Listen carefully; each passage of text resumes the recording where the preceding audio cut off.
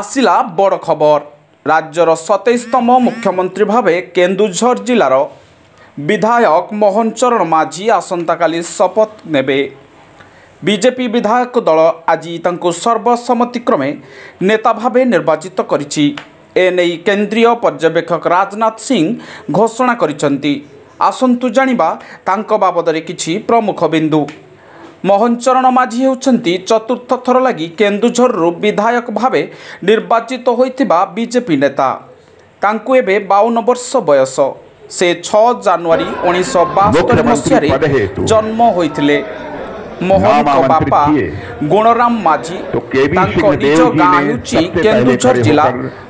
ମୁଖ୍ୟମନ୍ତ୍ରୀ પદ કે ଥାନା ଅନ୍ତର୍ଗତ થાના અંતર્ગત રાયકોળા ગાંરે તાંકો પત્ની હોચંતી ડોક્ટર પ્રિયંકા માંડી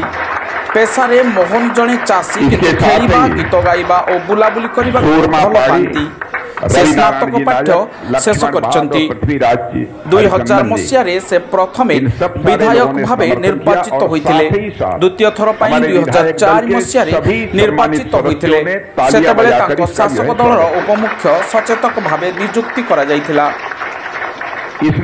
ଦୁଇ ହଜାର ପାଞ୍ଚରୁ ଦୁଇ ହଜାର ନଅ ଯାଏ ମେଣ୍ଟ ସରକାରରେ ସେ ଏହି ପଦବୀ ଅଳଙ୍କୃତ କରିଥିଲେ କିନ୍ତୁ ଦୁଇ ହଜାର ଚଉଦରୁ ଦୁଇ ହଜାର ଉଣେଇଶ ଯାଏ ସେ ବିଧାୟକ ନଥିଲେ ହେଲେ ଦୁଇ ହଜାର ଉଣେଇଶରେ ପୁଣି ଲୋକଙ୍କ ଆସ୍ଥା ଜିତି ବିଧାୟକ ଭାବେ ବିଧାନସଭାକୁ ଆସିଥିଲେ